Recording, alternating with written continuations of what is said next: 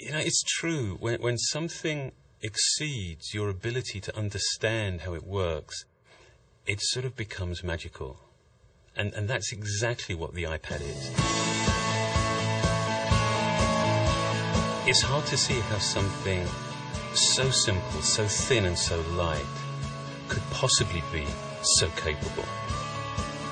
The iPhone was a revolution, and we learned so much from it and developed so many amazing technologies, all the applications, the multi-touch user interface.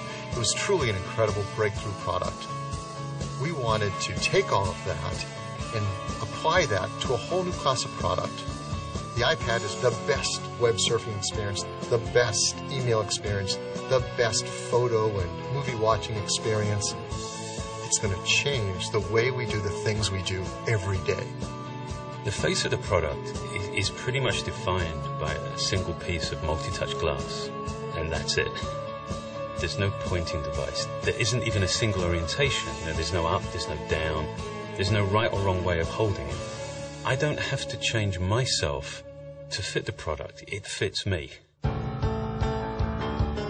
We looked at the device and we decided, let's redesign it all. Let's redesign, reimagine, and rebuild every single app from the ground up, specifically for the iPad.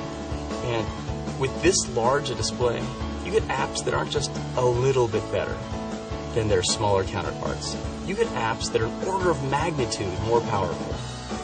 The iPad is the best way to browse the web for the same reasons that it just feels right to hold a book or a magazine or a newspaper in your hands as you read them. It just feels right to hold the internet in your hands as you surf it. And with a screen this large, you can just see more of the web as you're surfing it. And take the New York Times.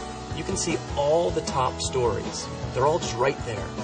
If you see something, you just reach out and tap it it's completely natural. You don't even think about it. You just do. iPad is a world class email client that's incredibly fun but very productive. You can go through huge quantities of email really quickly, and it's fun because you're doing it all with your hands. When you want to compose a new message, the keyboard automatically slides up from the bottom. And this keyboard is practically the same size as a laptop's keyboard.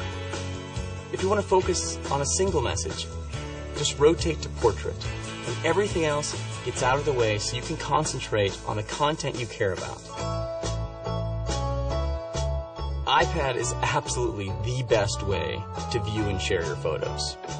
You see every one of your albums there as just a stack of photos. And you can just pinch open to peek in a stack or just pinch it open and look at all your photos. If you want to share with a friend, you can just flip over the iPad, and the iPad automatically flips the photo to the correct orientation. This is an unbelievable device for watching video. The user interface we built for this is just fun. When you see something, you touch it with your finger and it starts playing. There's no delay. The quality of this video is amazing. You can double tap, fill the whole screen. We also built an incredible maps application on here. It's really fast. And we created a calendar application like nothing you've ever seen on a computer before. Another app we're really excited about is called iBooks. When you couple books with a high-res color display, reading an ebook is just such a pleasure. Not only can you read books on it, but the UI actually flips over to reveal a bookstore behind it. And with a tap of your finger, you can purchase and download a book and immediately start reading it. So now we have three phenomenal stores on the iPad the iTunes Store, the App Store, and now the iBooks Store.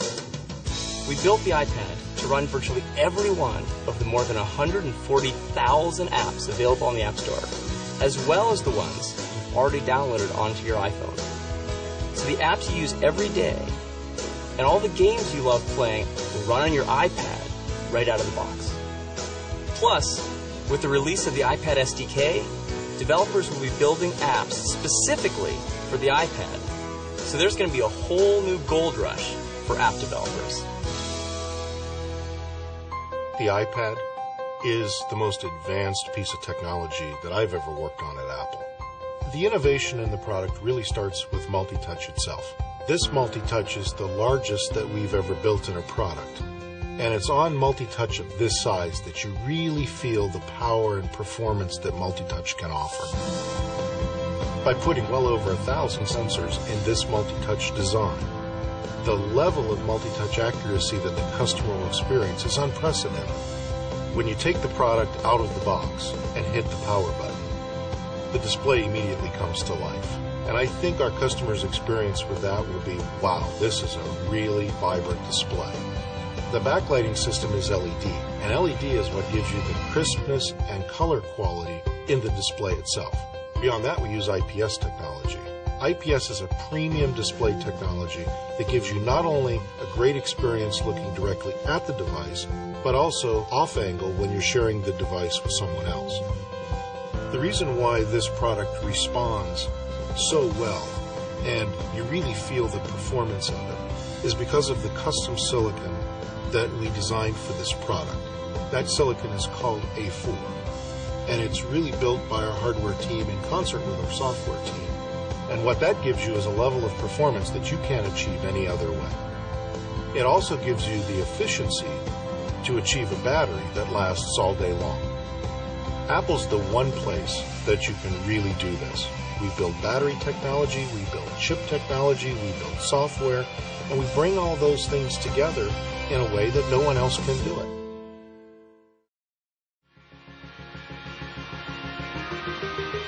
One of the most important features we designed in the iPad was an affordable price. Usually when you get the brand new latest technology, it starts at a high price, and over time it gets more affordable, works its way down. We wanted to do it differently. We wanted to take all this advanced technology, hardware and software, do everything we could to get it into the hands of as many people as possible, right from the start. The iPad starts at just $4.99. That's really exciting.